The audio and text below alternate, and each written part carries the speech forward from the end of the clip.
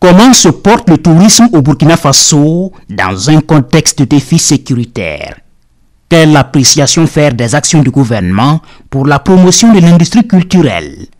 Sur le plateau du dialogue citoyen, le ministre de la Culture, des Arts et du Tourisme, Abdul Karim Sango, rend compte des actions de son département. C'est une mission qui a pour objectif de donner la parole aux citoyens pour jouer le journaliste d'un soir. Dialogue citoyen, c'est pour ce mardi 14 mai à partir de 21h en direct sur la RTB.